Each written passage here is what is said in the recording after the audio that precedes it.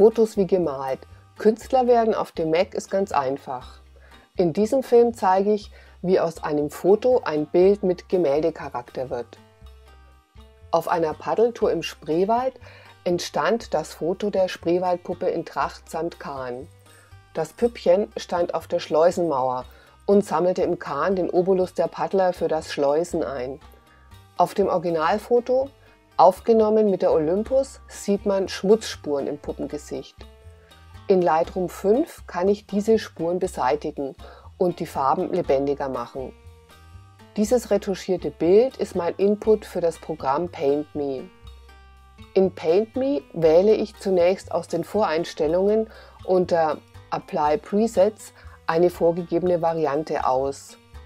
Mit Hilfe des Schiebereglers kann ich die Zeitdauer der Fertigstellung und damit die Genauigkeit der Umsetzung steuern. Dieses Foto gibt mir einen ersten Eindruck der ausgewählten Einstellungen. Ich erhalte so Hinweise darauf, bei welchen Parametern ich weitere Änderungen vornehmen kann. Hier sehe ich, dass die gewählten Vorgaben im Gesicht zu grob sind. Ich ändere die Einstellungen bei Color Effect Strength, Stärke des Farbeffekts und Color Effect Precision, Genauigkeit des Farbeffekts. Jetzt wähle ich eine Fertigungsstellungsdauer von 50 Minuten. Es entsteht dieses Bild. Das Ergebnis zeigt eine getreuere Darstellung mit besserer Detaillierung, vor allem im Gesicht.